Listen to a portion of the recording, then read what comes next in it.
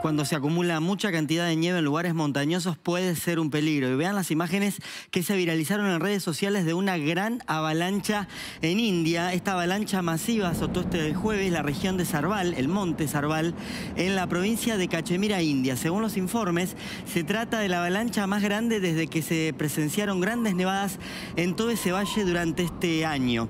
Se conoció que el incidente causó algunos daños materiales, pero hasta el momento no se reportaron pérdidas de vidas. Región se encuentra en alerta rojo porque es probable que en las próximas horas puedan volver a registrarse avalanchas. Las avalanchas de nieve se comienzan cuando una masa inestable de nieve se separa de una pendiente. Esta ruptura inicial desencadena un efecto de cascada, impulsando la nieve cuesta abajo con gran velocidad, creando un gran flujo torrencial de nieve, acompañado de una gran nube ondulante. La velocidad de las avalanchas puede llegar a a los 300 kilómetros por hora.